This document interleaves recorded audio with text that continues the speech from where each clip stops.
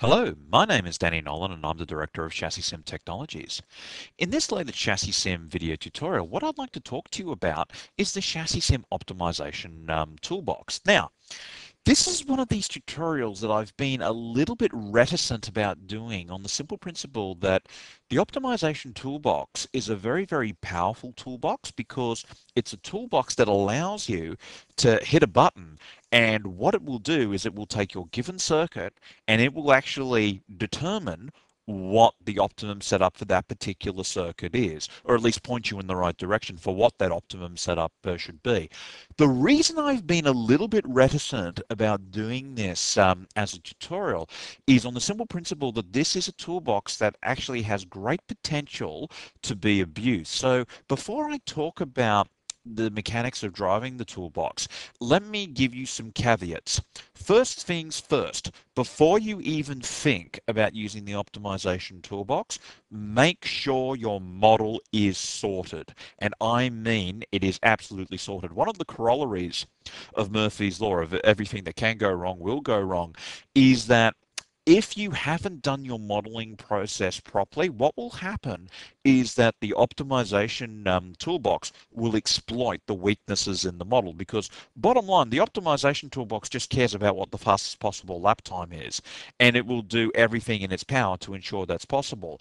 And if there is a weakness in your model, if there's something that you haven't considered, then it will exploit that. So consequently, I always advocate with the optimization toolbox before you use it, make sure that you've got a great deal of confidence in the model before you start using it. Vis-a-vis, you've already done it in terms of um, in terms of uh, in terms of manual sweeps, you know it's pointing and you know it's pointing you in the right direction.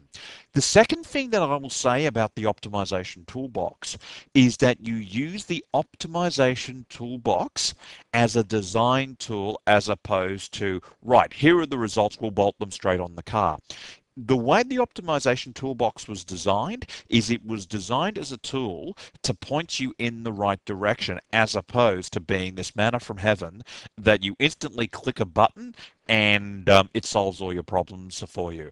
And quite frankly, that goes to uh, that is exactly the same process for any other computational software that uh, that you will use. So make your uh, uh, so uh, make your peace with that. And the reason I mention that is that one of the disturbing trends that I have seen recently is that you have a lot of people is that you have a lot of junior engineers who will want to use the optimization, uh, who, who want to use something like SolidWorks, like ChassisSim. They've got a problem. They input all the parameters, they hit a button, they hope it solves it for them. Well, quite frankly, the world doesn't work that way. And anybody who does tell you the world that works that way, quite frankly, they're trying to sell you. Uh, they're trying to sell you something. So that all being said, one thing I will say, when used to proper effect, the optimization toolbox is a very, very, very powerful tool. So let's get started. So you go to the simulate and you go to optimization options. So what we've got here is that you've got free uh, uh, free parameters with the car that you can um, optimize.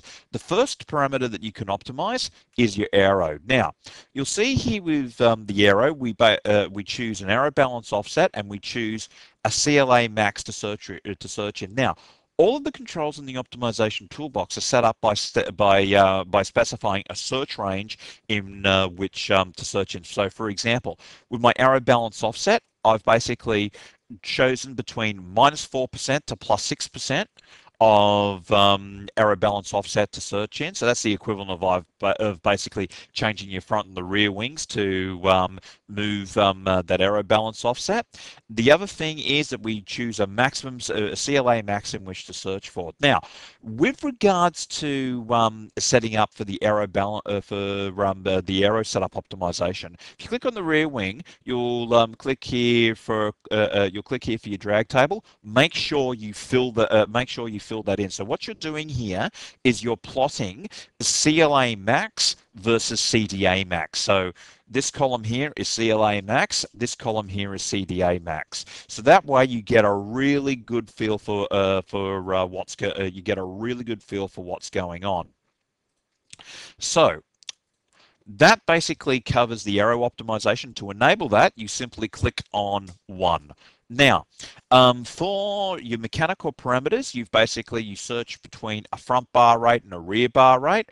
You, you specify a front camber and a rear camber space and a front spring and a rear spring um, rate. Now, I should state that um, all bar rates are entered in newtons per meter.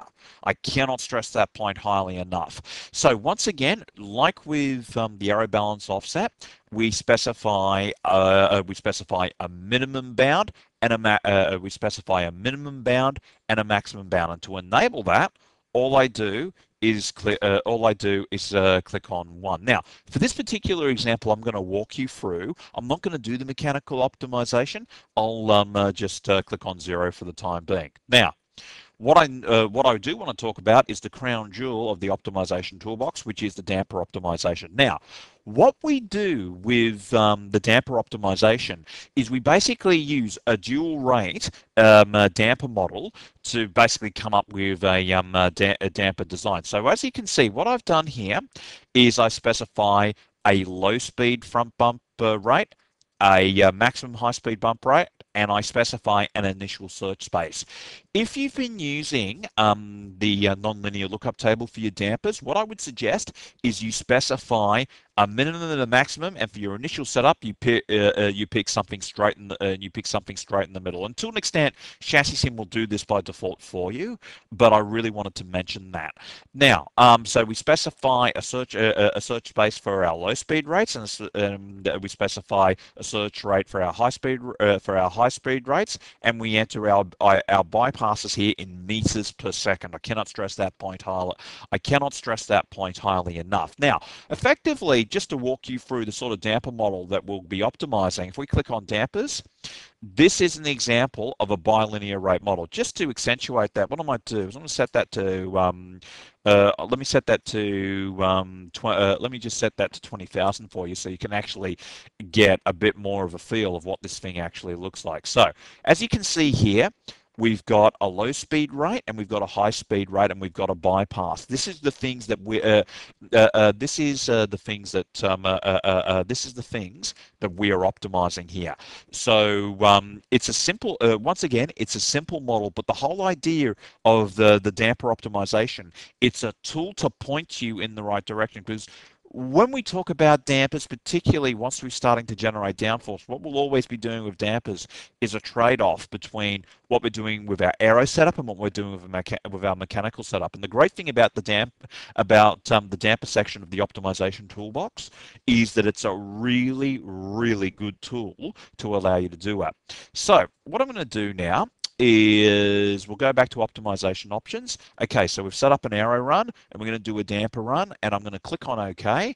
I've loaded in my circuit and uh, I've, I've, loaded, uh, I've, I've, loaded in my circuit. So I click on the start button and what I'm going to do is click on the start simulation button. Now, what this is going to do is this is basically going to go through and run um, uh, the uh, lap time simulation for your particular circuit, but it's going to do it, uh, uh, but it's um, going to do it over and over and over again. Now, the other caveat I will say about the damper optimi about uh, running the optimization toolbox, get a fast computer. This is going to take a while. This is not one of these jobs that you click on the uh, start simulation button and you um, walk away and you come back five minutes later. If you've got a low speed, if you've got a low, it's an overnight job. Um, in some uh, in some cases, depending on the length of the circuit, it can take up to um, about a day. So really, if I were you, I would be running this uh, uh, uh, I would be running this on a uh, I would be running this on a um, dedicated work on a dedicated workstation. Now, that also illustrates another point that to make sure that um, you don't repeat my mistake here, what we've got to do is you click on the optimize flag first. So we click on um, the and the uh, reason I illustrated that was for twofold. Number one, I forgot to do it, but number two, it's a common mistake that uh, I often see in people uh, running the optimization toolbox. So we make sure we click on the optimize uh, toolbox there. So we click on start simulation, and now it's going to go off and do its thing. And uh, so what we'll do is um, once again, this is an overnight. Uh, uh, this is an over. this is an overnight run.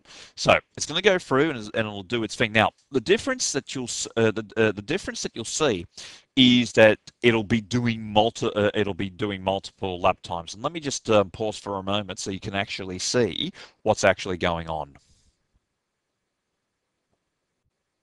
So again, to the end of our lap time simulation, and you'll see here that you've got an initial FO there. What it's now doing is it's now going through and um, uh, uh, it's uh, now going to um, uh, go. Uh, it's now going to go through and basically do its. Uh, it's now going to go through and do its bits uh, uh, and uh, do its bits and pieces. So um, what we so what will happen is it will keep on doing it, and as I said, it's something that um, you set um, for a you set for an set for an overnight run. Now, just to give you an illustration of what the end process looks like, when you get done, what you're going to do is that you'll wind up with basically it'll spe it'll specify what the optimum lap time was. Now it'll be now when you've gone through and done your process, it'll um, go through and actually tell you what the optimum lap time is. And here it'll specify what the aero setup was. It'll specify what the mechanical setup was and it will specify what our damper design was. Now, let me go through and illustrate. Uh, uh, let me go through and illustrate how you would actually go through and enter um, that. Uh, uh, how you would actually go through and um, enter that um, damper setup. It's actually really, really easy. What uh, uh, what you do is you go through and basically what I'll do is I'll copy this and um, uh, what I'll do is I'll paste it to a notepad file. Now, I've actually um, uh, I've actually done this. Uh, I've actually um, done this a little bit earlier with an example I did. So let me just go into my data folder, and I'll go into my mod, uh, my Motec folder, my log data folder, and so here was the circuit I was simulating. Okay, so what I've done is you can see here that uh, for the optimization that I did was um, I've copied in my aero settings and um, my high uh, and my high speed settings. Let me walk you through how you go about entering this into ChassisSim. It's actually really straightforward. So what I do is I'll um, uh, click on cancel here. Now for my aero setup, what I'll do is that I'll open up my notepad file and you can see that my um, aero offset was 0.06. So I just simply click on my rear wing and I set my aero balance offset to 0.06. And what I then do is I go back to my notepad. Okay, so I've got my CLA max at 2.87, so I copy that and I enter it um, and I enter it um, into there. Now, what I do with my CDA max is then I'll just uh, click on my drag table and I'll see where my 2.87 was, and that's about between 0.852 and 0.885, uh, 0.885. And just as a rough rule of thumb, I'll just enter in 0.87. So um, it basically it moved the aero balance forward, gave me a little bit more downforce, and I'll click on OK. Now here's um, uh, uh, uh, now here's um, the kicker.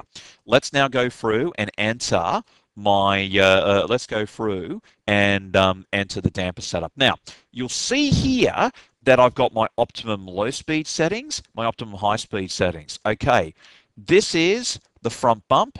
This is the front rebound. This is the rear bump, and that's the rear rebound. So all I've got to do is click on my front damper, click on damper, click to make sure that I've got my uh, dual rate spec enabled, and all I've got to do is copy the numbers in. So all I'll do is just, I'll go copy on that,